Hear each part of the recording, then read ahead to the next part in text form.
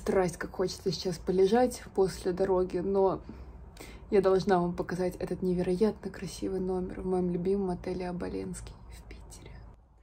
Оболенский, как всегда, покоряет цветом. Роскошество, зеленый потолок. Спать с цветным потолком, я вам говорила, всегда намного как-то комфортнее. Ну, по крайней мере, мне. Я прям это очень сильно обожаю. Очень маленький номер, но такой насыщенный на детали, настолько красивый. Он называется панорамный.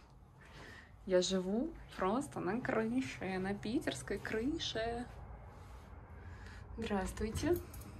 Здравствуйте, птицы. Каменные подоконники. Какой-то очень миленький декор. Сумасшедшая цветовая палитра. Очень красивая мебель цветная. Иллюстрации, оформленные в зеленое паспорту и черную рамку. И посмотрите, насколько широкое паспорту придает какой-то торжественности и значимости этой страничке. Текстиль весь шитый, как красиво. Полосатое изголовье. Приехала я в Петербург всего лишь на одну ночь для того, чтобы заказать кухню в наш дом. Очень нетипично и, конечно, весьма странно, что дизайнер из Москвы приехал в Петербург, чтобы заказать кухню. Моя кухня супер сложная в исполнении, потому что она составная. Будет столешница, которая будет выкладываться плиткой и затираться красной затиркой. У нее встроенный холодильник, но при этом фасады не обычные кухонные, а фасады, которые будут деревянные с художественной резьбой. Те самые фасады, которые нам будет вырезать, наверное, так это правильно говорить, вырезать, который нам будет создавать наша подруга Юля Сова. Жду не дождусь этого момента. Я не знаю, чего я даже больше жду, переезда или того, как а, Юлька начнет вырезать эти фасады, я буду это все снимать, красиво показывать, а потом трогать каждый день свой холодильник. Не открывать его ради вкусняшек, а трогать, потому что он деревянный. Кухня буквы П, и в принципе мне нужен был только ее каркас. Прекрасно понимала, что я не могу обратиться за такой кухней, например, там стильные кухни или что-то вот подобное. Мне нужен был какой-то частник или какая-то компания частная, которая готова вот создать то, что мне нужно. Увидев мой скетч моей кухни, мне написала компания Мока Кухня. Они базируются в Петербурге. О том, что какая красивая кухня, как же хочется ее создать. Мы пообщались с ребятами, им тогда очень понравилась идея, что кухня моя будет состоять из разных элементов. Они, в общем, готовы были вписаться в этот движ, хотели творить, и я такая, какая-то компания из Петербурга. Мой менеджер, с которым у меня завтра назначена встреча, уже нарисовал мне кухню, мы уже все обсудили, примерно уже все просчитали. Вот, и получается завтра у нас встреча, чтобы я пощупала фасады, потому что мне нужно определиться между в пленке и в эмали. Но мне нужен конкретный цвет, серо-голубой и конкретный оттенок, под который уже куплены конкретные красные глянцевые ручки, как вы помните. Поэтому надо смотреть глазками, выбирать пластик в итоге или эмаль, еще такой момент, что пластик будет только гладкий фасад, а эмаль может быть с фрезеровкой. Вот, собственно, я пока что, честно говоря, не определилась. Надо, в общем, посмотреть, что у ребят есть, и то и взять. Взять, если дадут. Кухни из Питера не будет. Я совершенно не хотела терять эти красивые кадры из отеля Оболенского, а как бы, ну, я там все рассказываю про свою кухню будущую, поэтому каким образом мне вообще это видео показать народу и не объяснить, что произошло. И зачем еще вообще такое видео? Чтобы те, кто собирается только делать свой ремонт, ни разу в жизни его не делал, чтобы вы понимали, что ситуации бывают всякие. Бывают они и у блогеров, и у дизайнеров интерьеров опытных, то есть даже при условии моего опыта, моих контактов, моей аудитории, вот при всех этих, казалось бы, шоколадных условиях для ремонта, все равно меня тоже кидают, со мной тоже поступают по-свински, мне тоже завышают цены. Ремонт, он всегда стресс, и к этому нужно просто быть готовым. Я понимаю, что это звучит очень банально, но часто, когда люди заходят в ремонт, они думают, что у них-то все будет хорошо. Запасайтесь психологической поддержкой. Ремонт — это такой же точный этап, как рождение ребенка, появление нового члена в семье, как создание семьи, когда люди женятся, у них появляется общий быт. В общем, это какая-то такая же глобальная вещь, которая тянется очень долго, забирает очень много энергии, сил, времени, фокус внимания весь тут.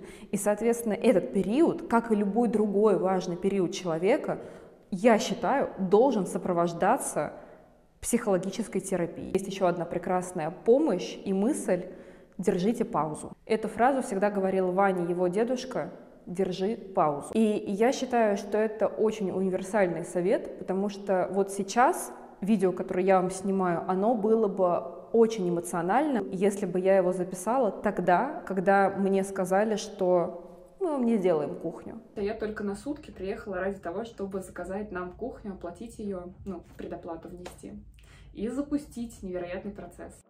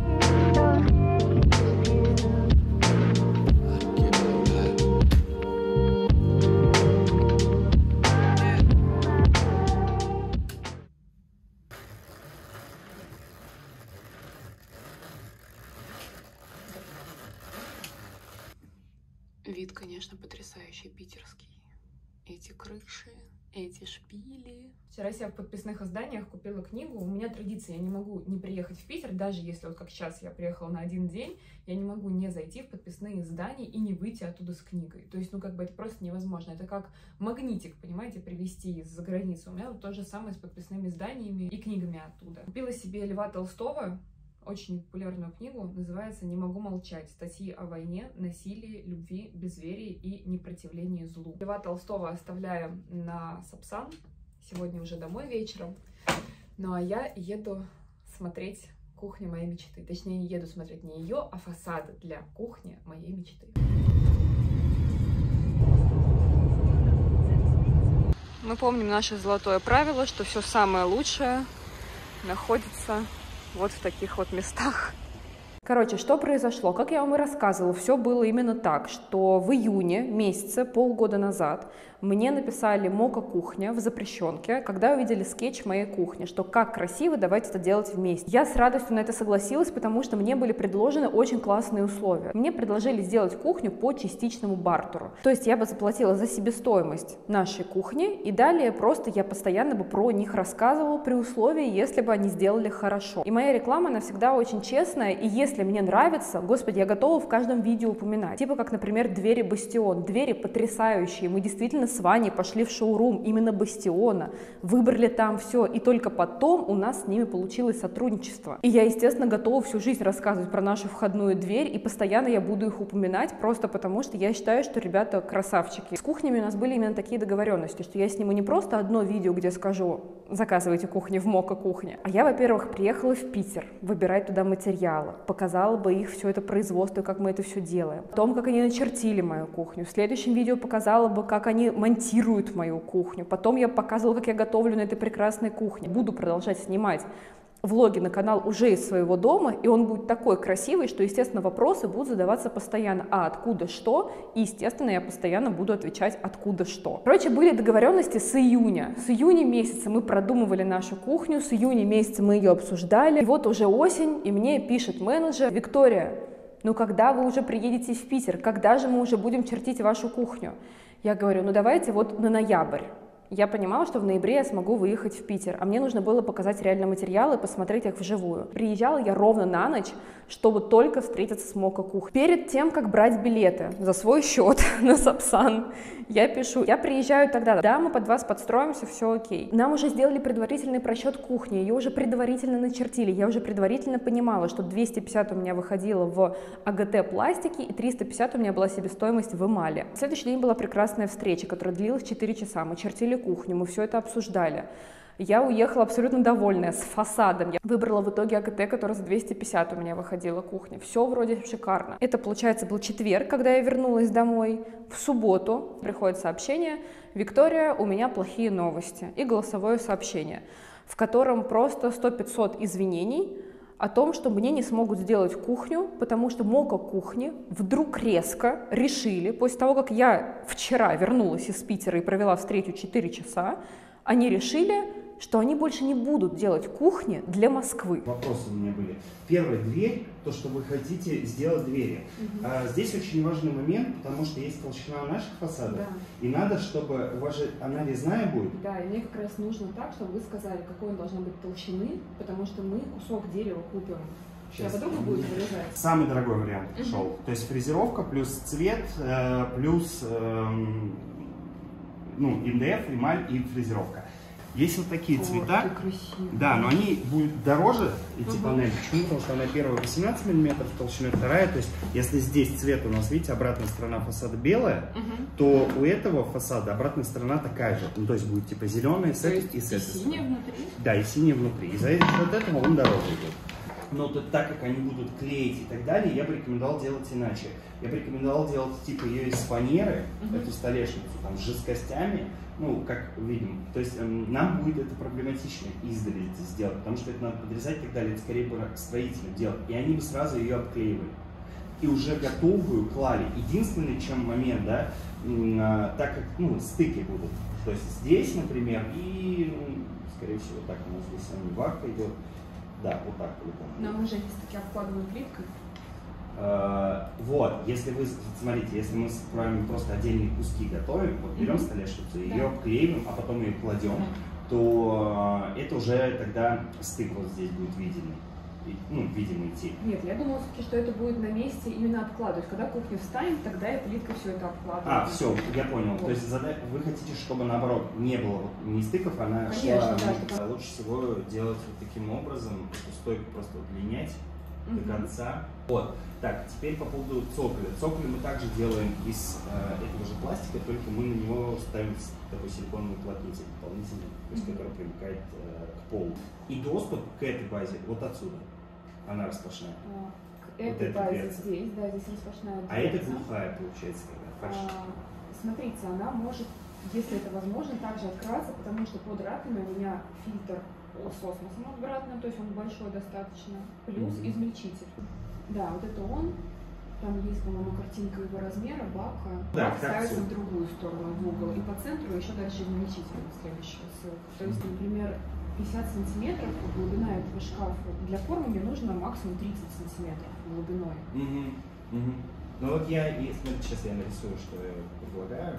Да, но чтобы он сам по глубине внутри был 30, а оставшиеся 20 сантиметров мы внутри именно отдадим тому шкафу, при, при этом не нарушая те фасады допустим. То есть они будут открываться как на 60 сантиметров, а ты открываешь, там внутри у тебя дальше Разделен. Да, вот я про это же тоже предлагал, внутренний он будет mm-hmm. разделен сейчас.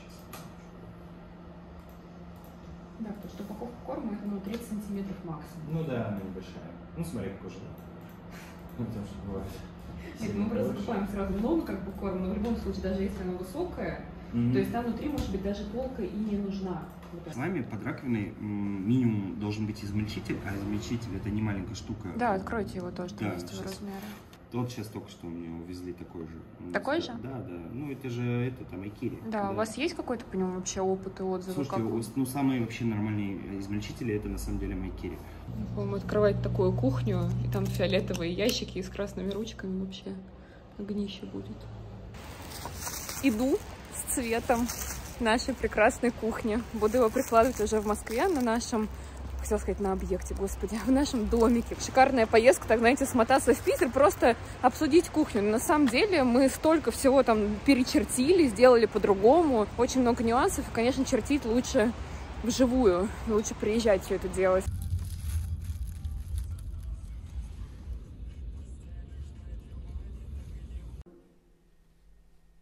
Мы закрываем это направление. При этом я смотрю, в запрещенке у них до сих пор стоит, что они делают для Москвы. Как бы причина какая-то необъективная. Я могу кухню и вообще любую мебель заказать в любом городе, хоть в Саратове, хоть в Ульяновске, хоть в Воронеже. Все равно производство все там, все равно замерщик будет как бы здесь, да, и, и я готова заплатить за достав. Я адекватно этой проблемы не вижу. И сказали, что закрывают московское направление, которое как бы производство в Питере. Я, естественно, не искала полгода никакого другого подрядчика, потому что была уверена, что вот у меня кухня будет от этих ребят. И этот ответ, что мы больше не работаем для московского направления, он очень странен для меня, потому что действительно я могу заказать мебель абсолютно из любого другого города. Как мне кажется, просто не согласовали насчет бартера вовремя. Возможно, менеджер не согласовал с собственниками, из-за этого получилась такая история. И потом просто об этом как-то ну, некорректно было как будто бы говорить. Но на самом деле, если бы даже мне сказали, что, блин, как бы мы все-таки сделаем вам за полную стоимость вот такая вот ситуация, да, как бы в душе бы я, наверное, повыпендривалась, потому что, ну, как бы вообще договаривались, но, тем не менее, я бы все равно бы выслушала предложение по кухне дальше, сколько она может у них стоить, потому что просто потрачено очень много временного ресурса и энергии на то, чтобы вот смог кухни делать свою кухню. Причем я же уже и в запрещенке, и в Телеграме рассказала, что я поехала в Питер за кухней. То есть вот такая вот история красивая, которая не придуманная, а которая реальная. Таким как бы завершением, ну блин, ну некрасиво, просто абсолютно, мне кажется, что это просто свинство. Мока кухни вернули мне деньги за билеты на Сапсан и за проживание в отеле. И я считаю, что это прямо сгладило эмоциональный фон, потому что я была просто в жутком бешенстве. Вопрос даже, знаете, вопрос даже не в деньгах на то, что я потратила, а именно то, что время потрачено. Ну, в общем, как и сказала, уже прошло две или три недели, у меня уже так эмоции подулеглись, и сейчас я просто ищу, потому что мне уже вот вчера нужно было заказывать мою кухню, и сейчас я ищу, кто же может мне ее изготовить,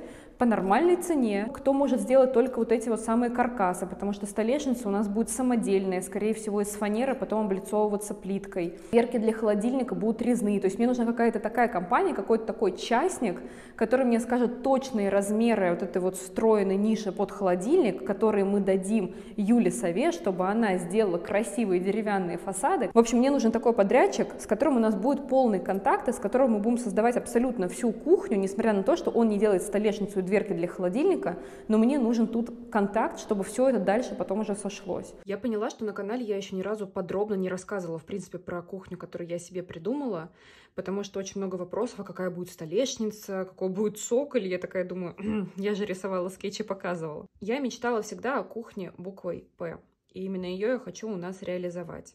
Раковина около окна. Не могу сказать, что это такая моя романтичная мечта, но здесь действительно удачное очень расположение именно такое. Единственное, это скетч, который я рисовала еще без размеров точных, без пропорций, поэтому немножко все будет по-другому. Например, кран будет стоять вот здесь вот, ближе к стене, то есть чтобы окно нормально открывалось. Это была такая моя мечта и кухня, на которую я именно с точки зрения визуала ориентировалась, но тут не точные размеры. Что мне было важно сохранить? Мне важно было сохранить красоту этой геометрии. Здесь у меня посудомоечная машинка на 60 сантиметров, здесь у меня измельчитель и фильтр с обратным осмосом. Вообще под фильтр с обратным осмосом, под мусорку и под измельчитель нужна тумба гораздо больше, минимум 80 сантиметров. Но здесь у меня влазило только 60, и поэтому мусорку я переношу в другое место.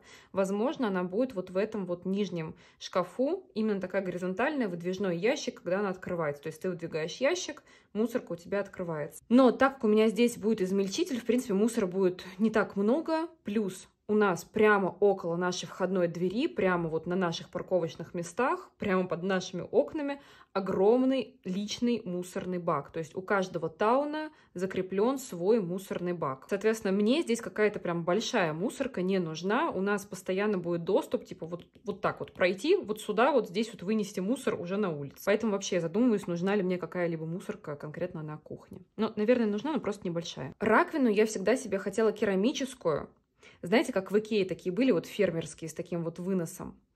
Мне нравится очень сильно белая керамика, я бы себе ее хотела, но я столкнулась с тем, что белой керамической раковины, которая подстольного монтажа, нет. А именно подстольного монтажа мне бы здесь раковину хотелось, потому что это супер удобно. Здесь у тебя крошки, ты вытираешь тряпкой, смахнул сразу же в раковину. Это просто супер. Вот, ну, пока что насчет раковины я ищу. Столешница. Столешница у меня должна вставать после установки кухни. То есть сначала меня устанавливают все вот эти вот каркасы, все, что голубым. Далее, как я думала, что мне вырезают из фанеры вот эту вот столешку, возможно, там она из трех частей будет, да, вот эта вот часть, которая около окна, вот эта вот часть и вот эта вот часть. Мне кладут из фанеры эту столешку, и далее мы ее облицовываем плиткой. Плитка это будет 10 на 10, керама мараци, белого цвета, она будет полуглянцевая. И здесь, конечно, такой интересный момент, потому что толщина столешницы будет примерно где-то 5 сантиметров, и, соответственно, еще и нужно будет резать эту плитку, делать тут запил под 45 45 градусов. В общем, работа на самом деле будет ювелирная. Еще такой момент. Вот здесь выстраивается у нас колонна. Колонна это будет из ГКЛ выстраиваться. Вот здесь у меня будут полочки деревянные, а эта колонна будет облицовываться старинным клинкерным кирпичиком со штампами. И сюда же мы будем встраивать, вклеивать нашу плитку, которую мы привезли из нашего медового месяца с Амальфи. Это майолика очень красивый. У нас таких три штучки. В общем, тут прям реально ювелирная работа. Около окна у меня планируются такие вот деревянные молдинги, это деревянный погонаж, очень тоже красивый резной. Дальше, вот те самые двери нашего холодильника прекрасные.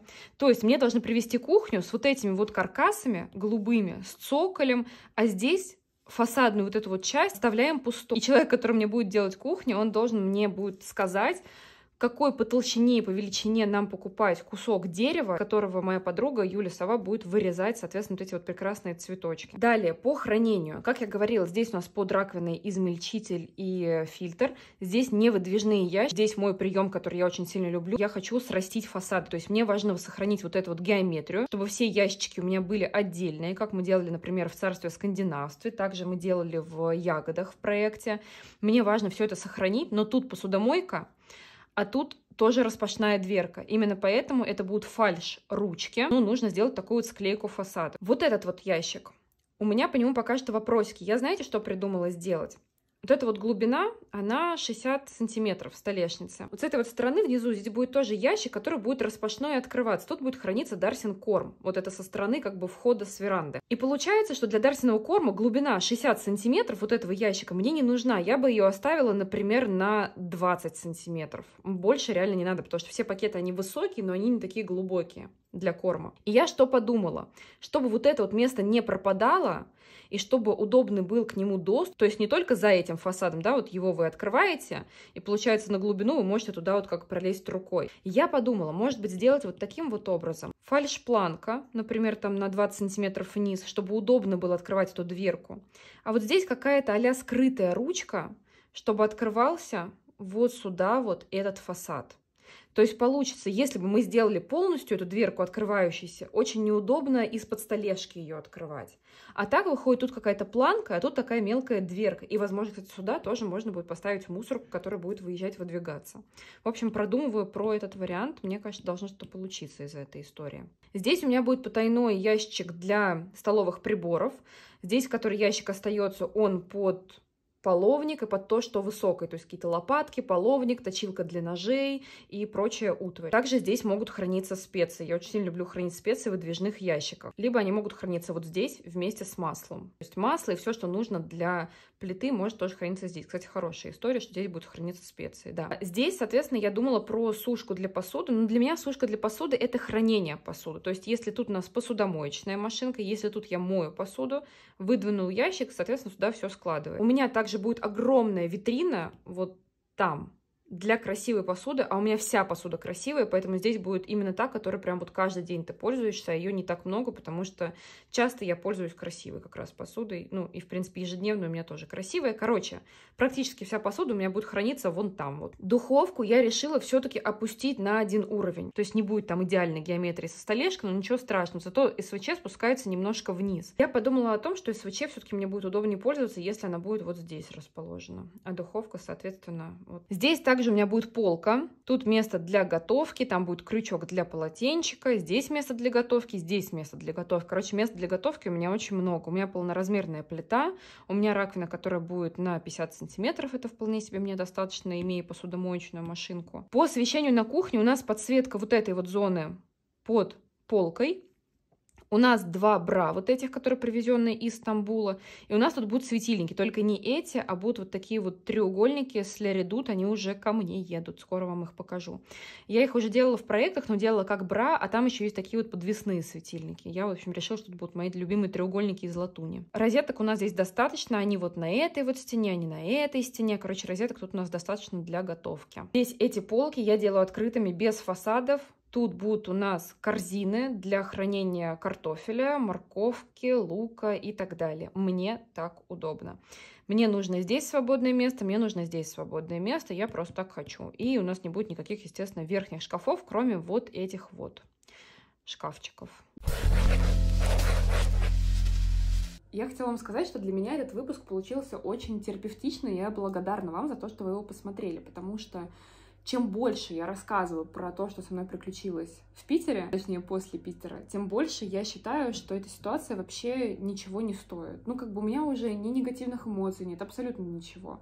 И я снова, благодаря вот этим своим рассказам, проживанию этих эмоций, потому что, правда, я их очень хорошо прожила, я считаю. Я всем друзьям рассказала, я понегативила, я потребовала у Мока кухни, чтобы они мне вернули деньги за билеты, и они вернули, за что им огромное спасибо. В общем, благодаря тому, что я это все прожила, хорошо. Я сейчас снова пришла к своему девизу по жизни, который со мной на самом деле постоянно. Но, естественно, в моменте, когда какие-то у тебя эмоции, что-то случается, ты об этом не думаешь, ты об этом думаешь потом. Но вот я как раз к этому потом уже пришла за день до выкладки этого видео. Все, что не делается, делается к лучшему. Я всегда это знала, я всегда так стараюсь жить, всегда так стараюсь думать, но все равно важно проживать все эмоции. Я понимаю, что с Мока кухни, вероятно, у нас получилась бы какая-то очень плохая история. Возможно, та самая история, которая у меня уже случалась с мебельщиками. Плохое, что случается, оно должно было случиться, чтобы прийти к тому самому хорошему. То есть вот я всегда живу по такому принципу. Я понимаю, что тот фасад, который я привезла, я приложила его уже ко всему и везде,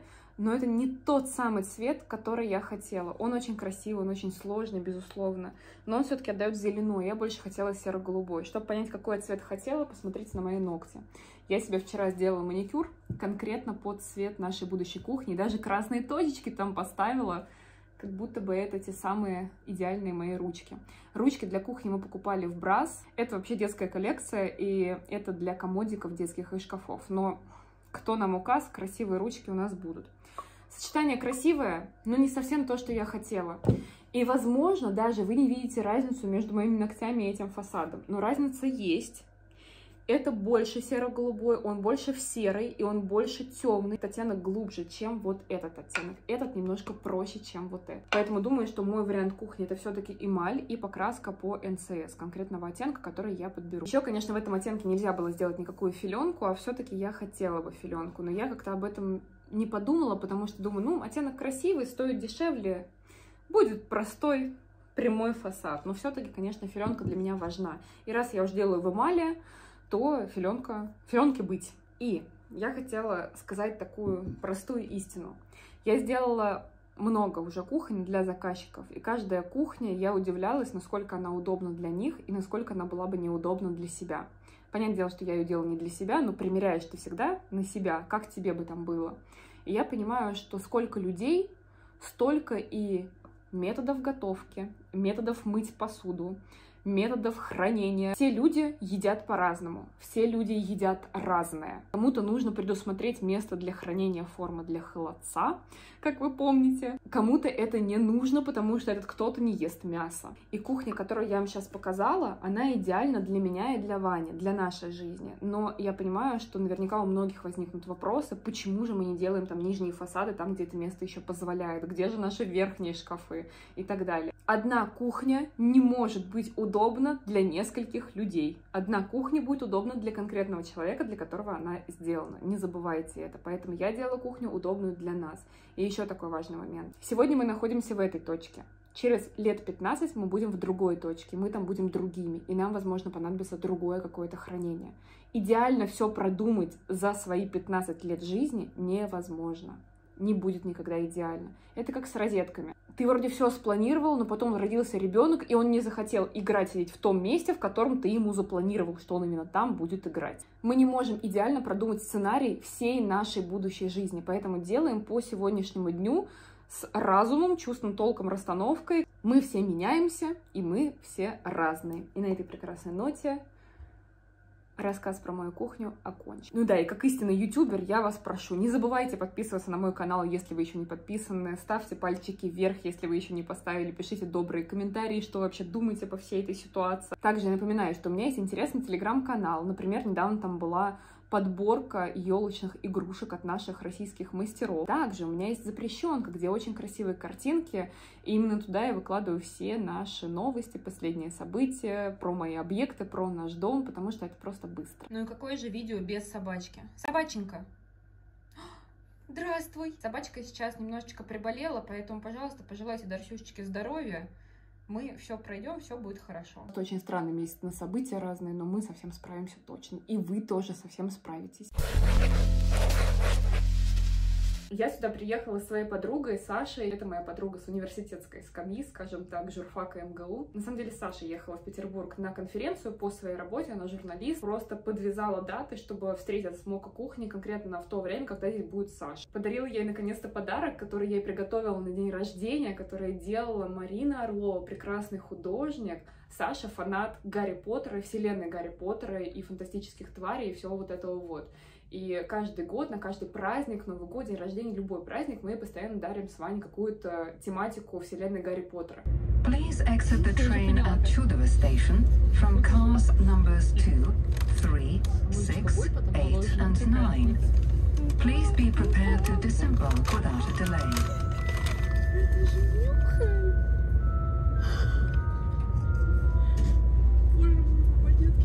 шкатулка. Да я понимаю. Ты сюда будешь класть свою цепочку, а он будет ее вот так вот держать на твоей прикроватной тумбочке. Это нюхай.